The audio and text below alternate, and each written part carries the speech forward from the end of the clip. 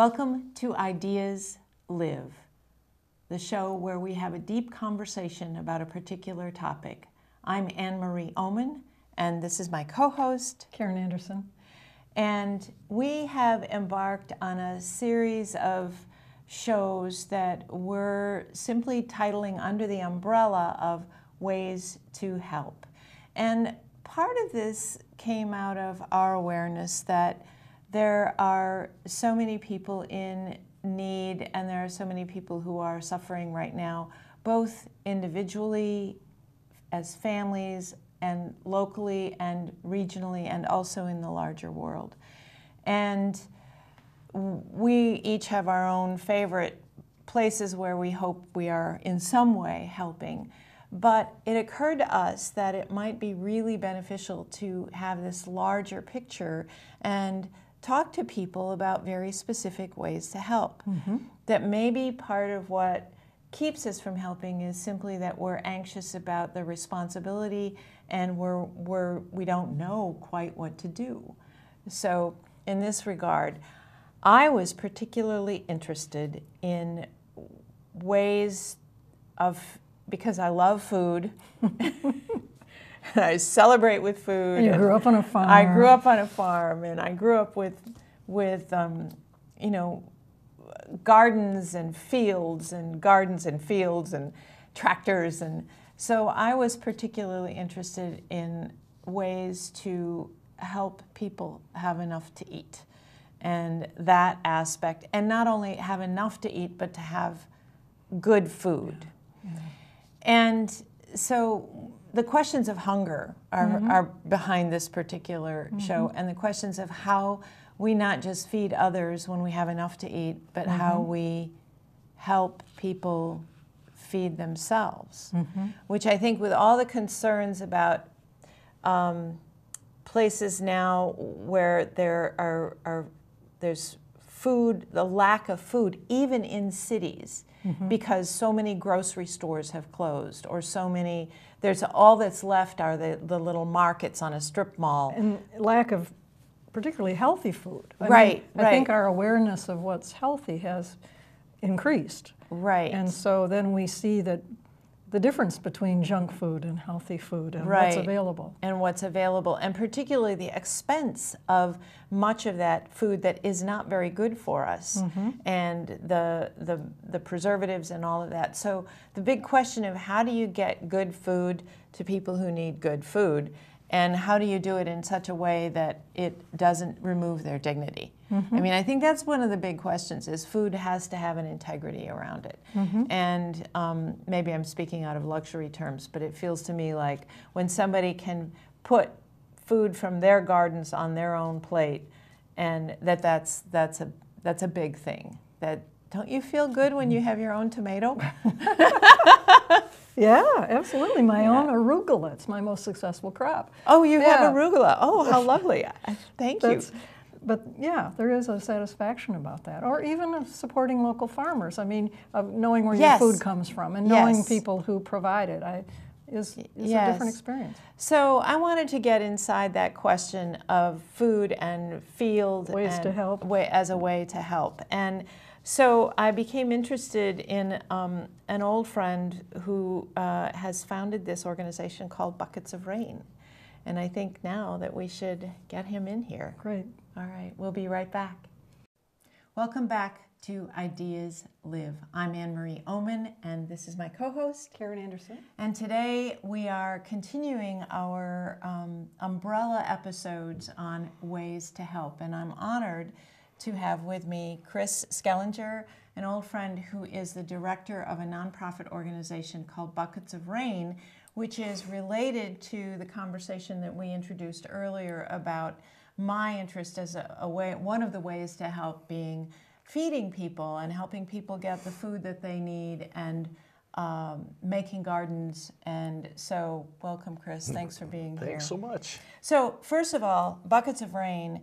Uh, lots of people know about it, but some people don't. So why don't you just explain the mission and then how, a little bit of the story of how this organization evolved? Okay. Well, maybe I'll start from the present and work backwards. But, uh, okay. Uh, since 2012, we've been focusing on, on Detroit. uh, and Highland Park. Highland Park is actually worse than Detroit. Detroit's coming back a little bit. Highland Park still kind of stuck in its ways. Uh, but what we do there is we take blighted, abandoned property, clean it up, and turn it into food production. Uh, we have about an acre and a half down there, 30 some city lots uh, that we've cleaned up, and the food that we grow there is given free to the homeless shelter kitchens of the Detroit Rescue Mission and let's say Cass Community Social Services and anybody else who needs it at the time. We also give to the neighborhood and uh, and to anybody anybody who nobody goes away hungry. So anybody who walks up to the fence. So, so we have community gardens and we have a production garden. You know, Okay. what is the difference? um, nobody's allowed in the production garden. I see. So that's about creating produce. Yes. Yes. Uh, only, only partially because you know we're not completely organic, uh, but we can't. But when we when we wall off the production garden, you're walling off your neighbors. There, our neighbors, if they don't have our back, we don't have nothing. So we put self-serve gardens in the same neighborhood around this production one. So it's like, can I come in and get something? It's like, no, not today, but you can walk 200 feet that way and pick all day long if you want. And they'll, you know, be like, So the where? production garden is for, is for the homeless shelters. Okay. And our various programs, yeah.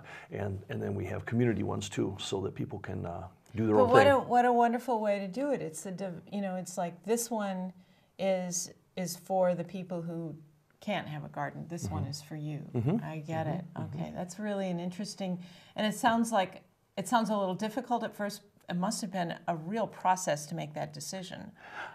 It was, because we had to figure out, uh, all of a sudden, we had a new group of gardeners, so to speak, you know, the Right, community. right. And I didn't really, I'm not, you know, I, when I first got there, I, I was I'm quite a stranger to the inner city culture of Detroit. I mean, why would I know anything about that? Mm-hmm. Uh, so I, the first year I lived in a homeless shelter uh, so that I could, could see what I was getting myself into. And after that, it's, it's just Mm-hmm. How been long did you live with them? uh, for a season, a growing Yeah. season. Yeah, yeah. Yeah. Uh-huh. Had had my own room there, you know. So I was passing by and list, getting to know the nature of homelessness. Especially these were amongst veterans, so I didn't get the whole, you know, the whole picture, but I got a, a pretty good, uh, pretty good snapshot of it. And, uh, and and then over time, we've we, we are now part of the community as opposed to just another, you know, a, another project that everyone's kind of sitting and waiting. Is like, well, how long before this one caves into? you know? right, right. Um, so we're in our seventh uh, seventh year. Great. There, so. So you were telling the story of buckets of rain, and I, I sidetracked you, but you, you said that there's a story before the story, before the 2012 when you began to focus exclusively on Detroit. If I remember correctly, Buckets of Rain was once called Eleven Oaks. Eleven Oaks, yeah. Eleven yeah. Oaks. So, what? How did that lead you to the whole food thing, or what? What is that about? Um, Eleven Oaks was left purposely vague when we filed our nonprofit status, you know, because we didn't really know where this journey was going to take us, and we had Eleven Oaks lining our driveway to the to the farm when we had the big bigger farm out on 669, uh, and so we started in uh, Africa and Central America. But the primarily the reason we started was because my wife Susan and I had a had a small mom and pop landscaping operation, and so we are like only one injury away from being out of business. And when mm. that happened, it's like, okay, now what are we going to do? I say, well, we've got 50 years experience in making things grow, even though most of our work has been doing second houses on Glen Lake, which is an, an mm-hmm. incredibly important link in this story eventually.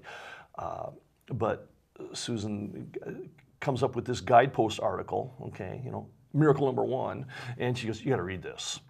And it was about uh, Richard Chapin and Chapin Living Waters that was doing bucket, bucket kit irrigation in dryland Africa That's right. and how to take excess water and feed a family of four with a five gallon bucket and so on. She says, You got to call this guy. this is, you know, still kind of shy. Well, he's on a magazine. He must be like, he doesn't have time to talk to us, you know. Oh, but uh, yeah, he answered the phone mm-hmm. and convinced me to go with him to the Echo Global Research Farm in Florida in a couple of months. He goes, because before you throw your hat over the fence, you need to, you need to meet the people who, real, who do mm-hmm. this. And, mm-hmm. and they'll tell you, you know, what kind of sacrifices you can be ex- expected to, to make. And uh, so I was his sidekick. He was 80, 89 years old at the time. And so I would carry his gear with one hand and have his wife had her hand on my arm the other way. And he continued to do this until he was 94. But anyway, meeting with Mr. Chapin, uh, he set us up with some contacts. You know, again, one of the I think more important things we're going to talk about today is how you, you just can't throw you know throw darts at a, Right. At balloons and, and see what happens. It's a methodical process of working your way networking. So then you've the focus switched to Detroit. Talk Yeah. a little bit about that. Um, but if I can backtrack to Africa just a little bit, you know, Africa has two seasons: wet and dry. I see. And during dry, diets would switch back to whatever the World Food Organization was dropping off, all grains. Okay, so all of a sudden you had a complete diet, nu- nutritional, sweet, and now you're eating oatmeal, for instance. That makes people sick. So what we tried to do with Mr. Chapin's help is show people that you can grow vegetables all year long if you manage your water correctly and you've got one of these little kits. So it was almost, it was more of a hope thing. It's like we don't have to get sick because we're not getting uh, tomatoes and, and onions and peppers and stuff. We can, we can maintain our health. And of course, when that happens, uh, when you're, when you're healthy and feel good and your brain is working on all cylinders, you know, then stuff starts, starts Right. to happen. Right. yeah. Then you can do the good work. Yeah. Yeah. Um, so that's interesting. Then it gets us to Detroit eventually. Yeah, Yes. Yeah. So what was the transition like? Well, the moment was, well, first of all, it was, it was becoming obvious too that we didn't understand enough about Africa and the cultural ways there to, you know, and we weren't, we didn't have boots on the ground. You got to have boots on the ground uh, of people you can trust, and we weren't just we just weren't able to make that connection in a tribal situation where all of a sudden Anglo's show up and start to uh, start to mill about and tarry in in, in tribal you know cultures. Okay. So, it didn't have a lasting effect. Is that what you're saying? It didn't. Well, it did, but of course, you know, it's never as good as you want it to be. Sure, You know, okay. uh, the other thing with that, with that in Lesotho in southern Africa was they had they had in a, were in the midst of a seven-year drought, Okay. and so we what I say inoculated maybe 30 communities throughout the country with access to drip irrigation Mm-hmm. and and instruction and working you know uh, based out of churches and schools and, and Right, hospitals. right. And then Sounds like you did a lot. yeah, a lot in, in, in the, the three seasons we were there. And then it rained for five straight years. Oh, of course. So drought was no longer a problem. The crops were washing away. oh. So our technology went on the shelf, and then now they're back in a period of drought. And, and uh, to the best of my knowledge, because we get contacted occasionally, you know, from people in, in Africa, and, and they're, they're, they're back. They, they understand drip irrigation now, and I don't know how big of a role we had in that, go. but it certainly certainly didn't hurt any, you know. So So then you came to focus on Detroit. Okay, yeah. We were given one of our talks, you know, uh, at a, at a home for retired Methodist ministers in, I think it was in Grand Rapids. And uh, got all done, and a little old lady, about yay high, comes up and she point, shakes her finger at me and she goes, Have you ever been to Detroit? And I'm like, Well, I was born there, but I haven't been there in 40 years. And she goes, You need to go meet Faith Fowler and like I took her pretty seriously. And uh, usually when somebody does that, they they're working on you know. Uh, they got information that you need to have. Right. So we did. We went and we and we uh, got made an appointment with Faith Fowler, who's the head of uh, Cass Community Social Services. Uh, both Cass Community and Detroit Rescue Mission have been around for 70 to 100 years. So they, uh, they know what they're doing. We met with her, and uh, but the most important thing was on the road to meet her. You know, I'm from Waterford, uh, but I haven't been there since 1974. But so we drove down. Sue and I drove down Woodward Avenue and turned right onto Glendale in Highland Park, and everything changed I at know. that I know moment exactly where you were. Yeah. it was it was uh, apocalyptic the destruction the destruction of that area uh, all the all the businesses on on Woodward from Highland Park within the boundaries were closed the buildings were burnt and collapsing right on Woodward and uh, there was uh, two inhabited structures in three blocks. So it's like this. This is um, yeah. This is where we're supposed to be, and uh, we worked with Faith Fowler. And yet there was still a population there. a very little. The most of the probably only 20 to 30 percent of the houses were occupied. The rest were burnt and boarded up. Okay. So, because we had learned in Africa and Central America that we need to have the strongest partners possible, then we, we started working with the Detroit Rescue Mission and Cass Community. Actually, we eventually we gravitated towards Detroit Rescue Mission because they had land. Mm-hmm. Okay. They had land, you know, that they didn't even know they mm-hmm. owned, but uh, the fact that they owned it, and then they were able to go here, ju- all yours, you know, Okay. clean it up and let's go to town and start. Okay. Because too much of the food for those shelters comes out of cans, you know. So um, Right, right, right. I'm just so amazed by this commitment to the fresh food.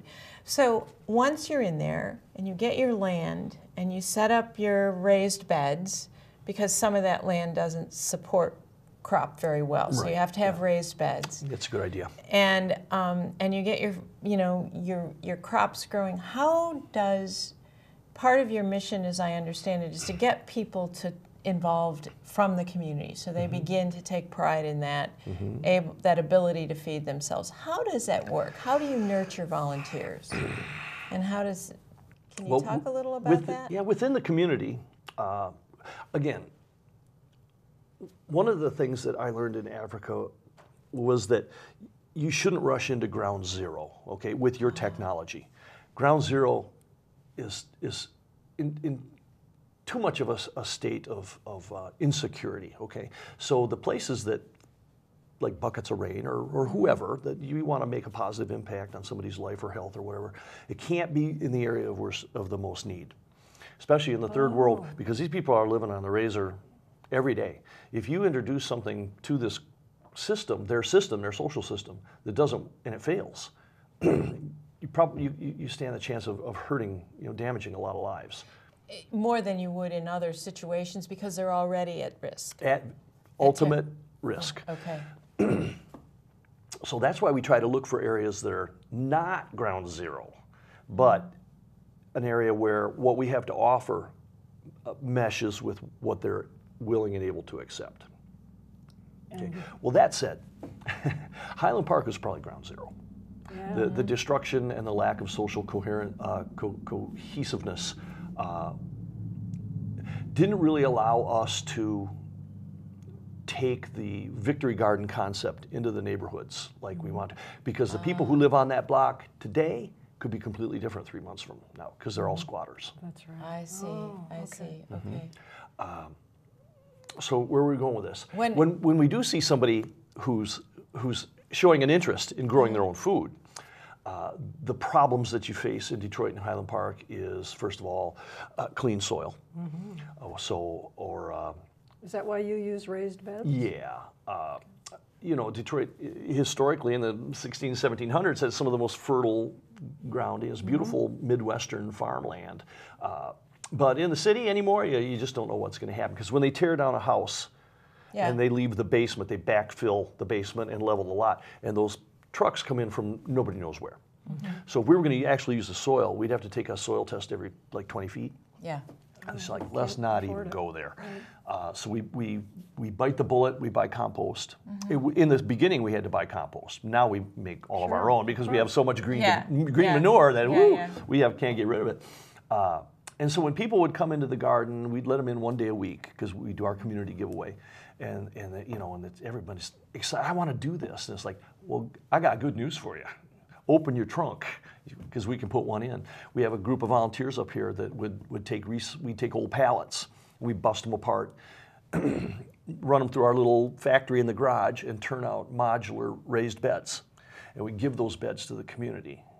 They can put it because you don't put them together until you get them home. So you know a Honda Civic could could carry th- three raised beds, and it costs us a dollar to make a raised bed three feet wide and six feet long. So not all the gardening is done on your acreage. It, people could take it to their You own. take it home. Yep. So this is a means for them to take home, uh, to, the, the means to create their own food. Yes. Yes. And we also supply them with, uh, you know, with the seedlings and with support and whatever. It's like but you know we're not going to come we're not going to come and weed and we're not going to water because you're like you know when you have a baby do you expect the doctor to come and change the diapers no you have to do a little of this work on your own mm-hmm. uh, but the biggest uh, obstacle i mean we can give them a raised bed what are they going to put in it mm-hmm. so if you live in the suburbs royal oak ferndale you just go to the nearest city park and get free compost oh, wow. that is a luxury that highland park in detroit does not have Okay. Uh, so what we started doing was was we would take the next available flat space within sight usually. Well, that doesn't really matter because you don't really want to know what's going on when you're giving stuff away. Just give it away. Uh, but we start stockpiling compost that the neighbor, that the residents of our quote unquote neighborhood uh, could get to with five gallon buckets.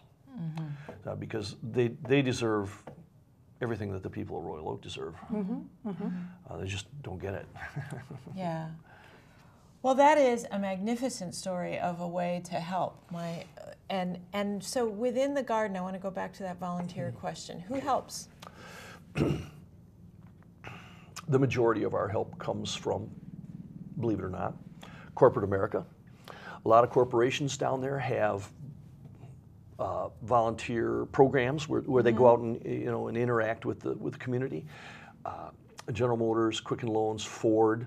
Quicken Loans sends us two volunteer groups a week on Wednesday and Thursday, really? just wow. like clockwork. Isn't that amazing? Yeah. So there's we can make plans now. Yeah. You know, we're not sitting around going, "Boy, I wish we had some volunteers." It's like, no, they'll be here in 10 minutes. How many do you need roughly? Um, we do probably 250 individuals per year, and we do 5,000 volunteer hours.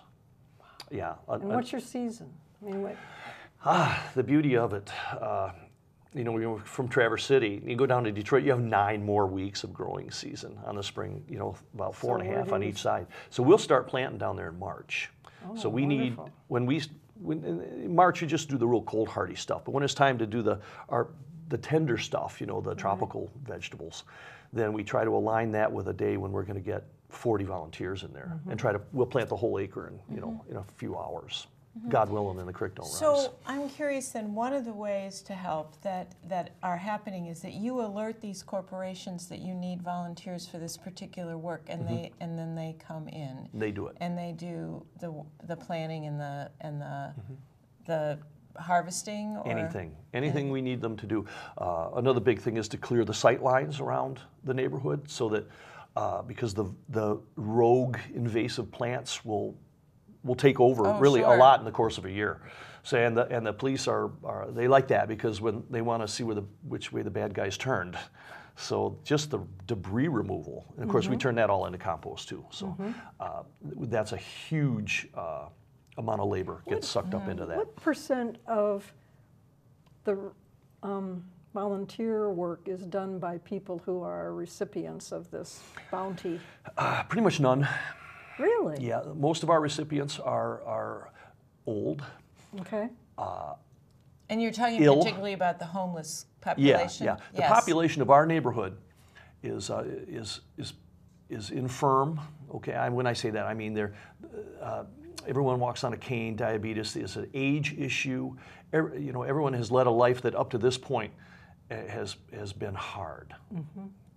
So that doesn't really bother me at all. Mm-hmm. No, if I was if, if, I was in another neighborhood, it'd be a completely different story. I can only tell you about Detroit yeah, Highland Park or Highland Park. Okay. Yeah. Um, other, you know, you because in Detroit, when you go a couple of blocks, the entire world changes. Right. Mm-hmm. There's so many neighborhoods. Oh. Yes. And some have community uh, block uh, mm-hmm. associations, and some do not.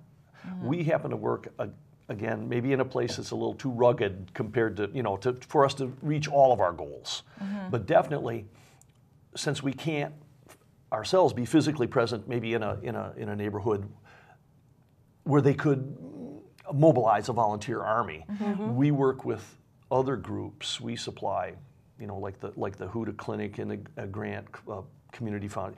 There's just anybody who even says, you know, we got some people, we want to do this. Yeah. And we'll just say, well, where do you want to do it? And then we'll bring all of our equipment over. We'll get them over the hump because we know that the spirits are broken, you know, in the first six weeks. Mm-hmm. and if we can we can show them that uh, you know they're, that they're not alone, and if you just acquiesce to the idea that you're going to have to deal with some weeds once in a while, that everything will be okay. The farmer's pain. Yeah, you know, because we have equipment and we have the, we've made all the mistakes, so we have the You have expertise. the expertise, Yeah. yes, my gosh. And, uh, and that's really rewarding. You know, we put put in little gardens at churches and stuff. So other communities are able to mobilize the their Well, this is what I think I'm finding very interesting about this conversation is you're not talking about individuals so much as how you spread the ways to help Mm-hmm. to other communities. So you are setting a model, yeah. We hope that can be used all over the world. right? Mm-hmm. And and so other the real the real way to help here is that uh, it, that I'm hearing is that other communities then take come to you and they say, okay, you say, look at this, look at this. We're focused on the production gardens, focused on the homeless, and then you have these other gardens, the community gardens that are for everybody, and and this is how, and we're involving the corporations in this way, and this is a model, right, yep. to take. Yeah. Uh, corporations and churches and block clubs. Uh, th- that's going to be the best way for us to export what, what we're doing from, from Highland Park. I mean, if you can make it work in Highland Park, I know. I was Make it work thinking that, anywhere. yeah. seems really. Yeah, because once you cross the line into Detroit, all of a sudden the even the you know the gov- attitude of governments and everybody is improved. Yeah, Have you seen attitudes or involvement or um, anything improve in Highland Park since you've been doing this? yes, definitely. Share that. Uh, When I first got there, um, I, I you know I, I was probably known by several nicknames, and none of which we could mention on TV, and, and none of which I particularly cared for. But I realized that just comes with the territory. Um, so so as years went by, all of a sudden we're, we're more accepted. And to the point now where everybody used to wander by with their head down or look looking the, they wouldn't even glance our way slash my way. Uh, and now they stop by and we, give hugs, you know. So if that's a measure of, that's got to be some sort of measure of some sort of accomplishment, right? Uh, mainly just through stick-to-itiveness and, and true, um, I think we have a, a pretty true concern for the well-being of the people that we, we serve. Uh, we've, we've, um, we've, we've sponsored a lot of wakes and, a, and, a, and a few funerals, you know. So that's one way that, that we let the community Isn't that know interesting yeah. that, that that's a way that the community knows that you are in in relationship with them? Yeah, and more than just giving food, you know, Right. but, but uh, you know, repairing their porches and things like yeah, that. that you've, folks be- know. you've embedded yourself kind of into the community and Yeah. tried. Yeah, and it's been wonderful. I mean, I live uh, after now, you know, since the initial uh, stay across the street from the garden in the in the shelter. Uh, you know, I have a, a room in a in Royal Oak, but like- like last year, last spring, seriously, I was thinking, you know, I want to move back into the shelter. I, I don't want to live out in the suburbs. I'm more at home here. What did you learn living in the shelter? Well, it was a veteran shelter, and the th- and the thing, the harsh thing that I learned, and it was all men. No, I shouldn't say that. One of the floors was men with children, but there were no women at all. We do serve. We have gardens at. Uh, uh, at women and children's shelters because the Detroit Rescue Mission services the entire, uh, the entire spectrum of homelessness. But since I was in a male one, and especially veterans, I was able to see that that most homeless people are, are not, uh, of course, they're not uh, they're not lazy, and they're not just you know they didn't a lot of times they didn't get there because they made a mistake. There's there's a, there's a lot of illness, mental illness in particular, uh, and uh, again, this is just our little world, but when people would say, "Well, let's use the veterans across the street in the garden; it'll be great therapy for them," and it's like, no, Maybe not. no, we no, it didn't work. We tried that, and uh, Why wouldn't it work? well, they're they're trying to get back into society. As a rule, that that, that person is very needy, very clingy, and uh, and if things you know, and very still kind of combative, you know, Okay, kind of okay. kind of angry is the word, you know, and uh, it's just not my job. I grow food. Yep. I'm not a social worker. Yeah, you're. Yeah. Yeah. Luckily, across the street, they got social workers. But we just because we deal with church groups and the corporate America, I just I couldn't have people with mental illness wandering around the garden. Mm-hmm. I, th- I can I understand I understand the risk. That's unfortunate in terms of the the conflicting purposes, but mm-hmm. uh, but I I can see if you're trying to, and especially because what people don't realize, I think, is how delicate plants are. you know, too, it yeah. sounds so strange to mm-hmm. talk about that, but as a farmer, I I sense that affiliation, and it, I know you, say, well, what's that compared to uh, human relationship? But the plant feeds the body, and the body then makes the mind. It's a little more convoluted, but mm-hmm. wow. Yeah, so so that was harsh. We were really we really had you know our rose-colored glasses on and thinking, man, we've got this. We've got all these wonderful veterans across the street. Uh, but again, they come and go every week, you know. And but you, you can't chose to live with them. You are choosing to mm-hmm. keep your, your housing there. Mm-hmm. mm-hmm. Yeah, and and how how does that give you an opportunity on a different level to help? On a different level. Or maybe the same level. I don't know. Um, what was well, it? I know I'm, what, I'm asking. Why yeah. did you choose that? Well, I know what goes on behind the doors now. Yeah. You know, when you drive by and you see the locks and the and the gate. Well, I, I know what they're doing in there. Yeah. I know all the good work that they're doing, and okay. it is, yeah. the beauty of the veteran shelter was that you know the Detroit Rescue Mission and for a while the VA, you know they these guys they got rides to their doctor's appointments. They got uh, t- uh, tutoring on how, and they were enrolling in college and so on mm-hmm. and so forth. Mm-hmm. Um, so, but but two or three of our most heart uh, warming stories do come from the veterans. Mm-hmm. Okay, so I don't want it to make it look like we That's, had no interaction whatsoever. Right. We had one veteran who brought his children over every day, mm-hmm. uh, and they worked uh, every day in the garden. Um, I was I was Uncle Chris. They followed me around like the Pied Piper until I have to go like Isabel. I can't get any. Could you get, put your kids somewhere? I can't get anything done, you know. but they would ride their bikes around. So for a little while, we were starting to get kids in the garden, and that mm-hmm. was cool. Again, the transient nature of Highland Park. Kids one day, next day gone. Mm-hmm. Uh, and Ezel, they, the Detroit Rescue Mission did give his family a home on the east side. Mm. And he said to me that if it hadn't been the garden for the garden, um, he's not sure he could have held the, held the family together. So wow. there's a few of those stories too. But you know, uh, we only make a difference person by person, though. I mean, when yeah. we were talking about mentoring, it's the same thing. And and, and in addition to that, um, you learn the limitations of what you're doing. I mean, that's Indeed, part of it. Exactly. The, yep. The challenges and the limitations, and I mean, it's not all um, hap, happy ever after. Yeah. It's, and yeah. we have that yearning for the story where. It, this is what we were talking about earlier with the, men, the story where everything comes all right in the yeah. end, you know, and, and it all comes back in the end. And but I think that whole idea of going in without expectation, choosing one way to help, thinking of that as this is my chat task, and this is maybe my calling, um, but I don't expect, I, I shouldn't expect the big Hollywood reward, you know? That you do, you do what you do. Yeah, you, got, you stay fle- stay flexible because where mm-hmm. you end up is probably not going to be yeah. where you were aiming. Right. so then, how how do you keep going?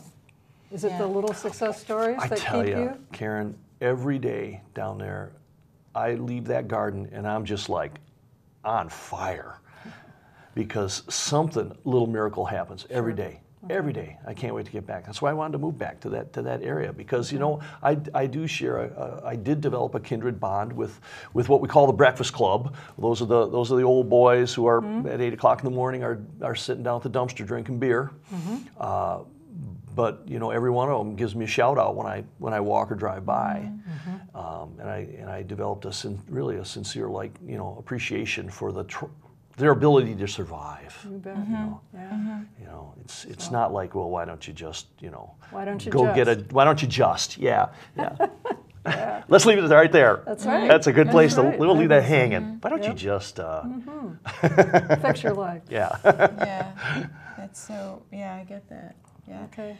Well, so. if, and this is the larger framework, the lar- larger theoretical question, if someone wants to help and they have a, an, an inkling that it might be in gardens and it might be in feeding people in some way, and what, how how could they get involved with buckets of rain Well, I- other than writing a check? right, right. Yeah, which is a good thing to do. Mhm, Yes. Yeah, because these, you know, these plants don't grow themselves, and, Right, and I think.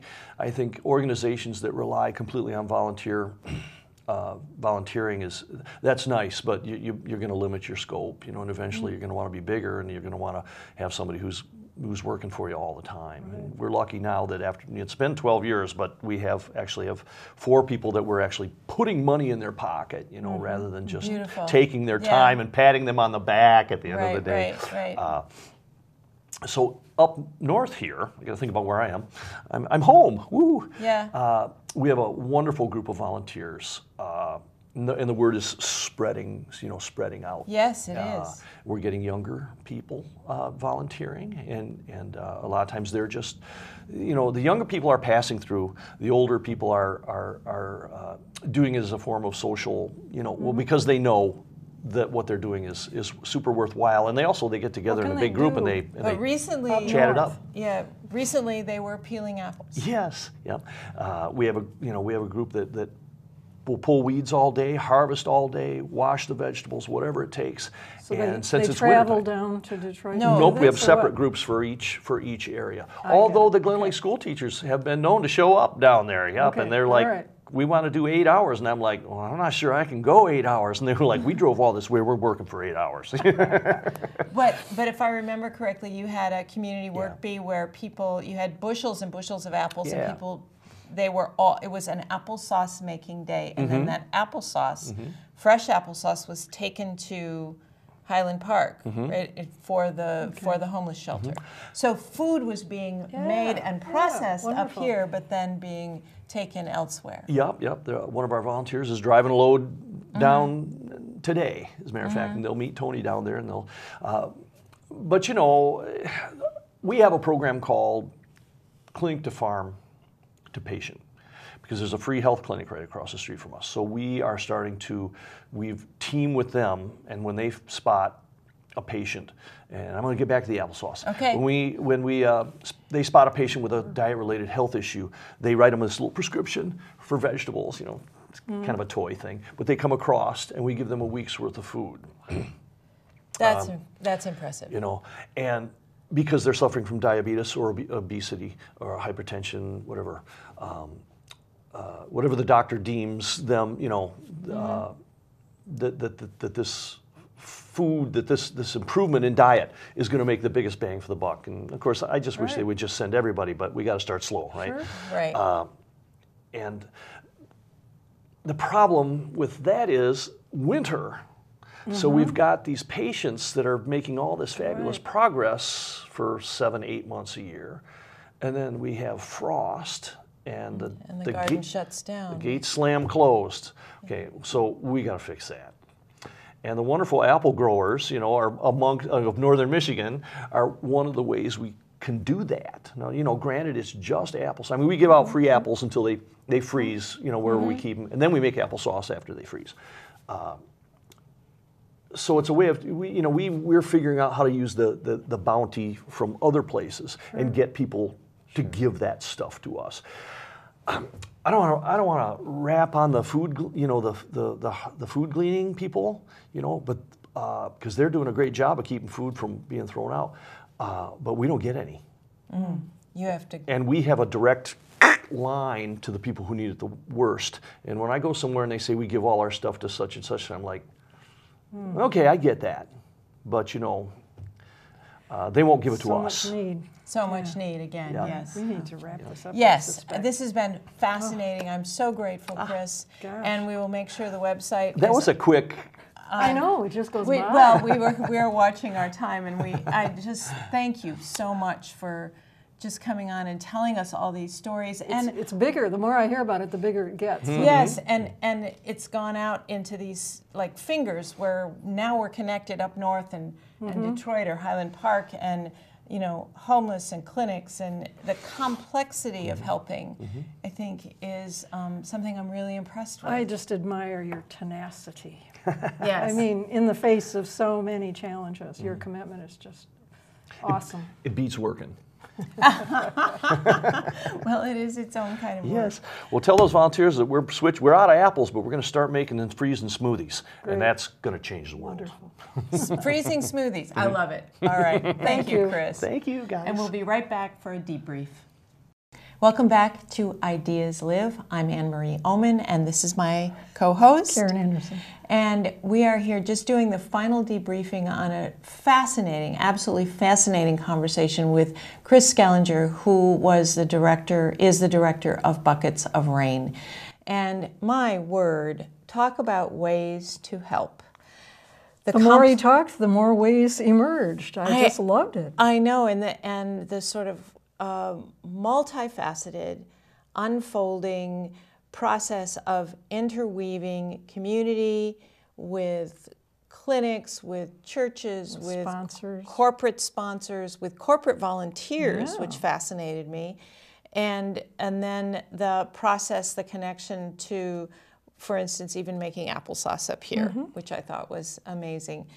And taking it then to homeless people in, Yeah, in that- Detroit. There are ways to help no matter where you are. And what I especially appreciated about Chris's conversation is the limitations, where lines had to be drawn and where it was, the, the challenges became so um, hard that, that there had to be parameters set. Yeah, yeah. And, and we don't always hear It's about not going to work this way. We have Yeah. to try this way or this way, or maybe we can't do that. We have to do something else. And Right. That flexibility and that tenacity Yeah. are just really impressive to me. Right. And so, as in terms of our series on ways to help, I think Chris kind of opened our eyes to how models can be taken mm-hmm. away to other communities and also the, the, the willingness to be present to change. Into the actual um, place you're operating in. That each place is different Right, and right, requires a certain level of responsiveness. Boy, Yeah, really impressive. that was wonderful. Yeah. Thank you for rounding him up. And thank you for staying with us for our interviews on ways to help.